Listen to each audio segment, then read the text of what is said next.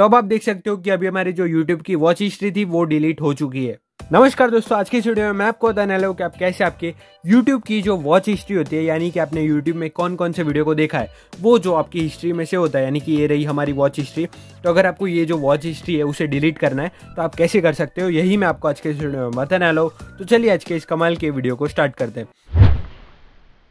So guys देखो, अगर आपको भी आपके यूट्यूब की जो वॉच हिस्ट्री है ना, उसे डिलीट करना है तो उसके लिए आपको यहाँ से आप डिलीट नहीं कर सकते। उसके लिए आपको क्या करना है, सबसे पहले तो आपको यूट्यूब का ऐप को ओपन कर देना है। आप जैसे यूट्यूब ऐप को ओपन करोगे, उसके बाद में आपको ऊपर की तरफ़ आना है। ऊपर की तरफ़ यहाँ पर आपका जो प्रोफ़ाइल वाला आइकॉन दिखाई दे रहा होगा ना, आपको उस पर क्लिक करना है।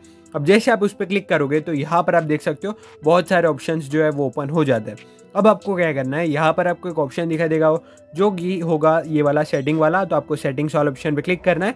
अब जैसे आप सेटिंग्स वाले ऑप्शन पर क्लिक करोगे तो और भी बहुत सारे ऑप्शन ओपन हो जाएँगे। अब आपको क्या करना है? यहाँ पर आपको एक ऑप्शन दिखाई देगा होगा हिस्ट्री एंड प्राइवेसी तो आपको हिस्ट्री एंड प्राइवेसी वाले ऑप्शन पे क्लिक करना है। अब जैसे आप इस पर क्लिक करोगे तो यहाँ पर आपको दिखाई देगा क्लियर वॉच हिस्ट्री तो आपको सिंपली इस पर क्लिक करना है और यहाँ पर आपको सिंपली क्लियर वॉच हिस्ट्री पे क्लिक करना है तो यहाँ से आप देख सकते हो कि अभी हमारे जो यूट्यूब की वॉच हिस्ट्री है ना, वो सभी की सभी क्लियर हो चुकी है, यानी कि डिलीट हो चुकी है।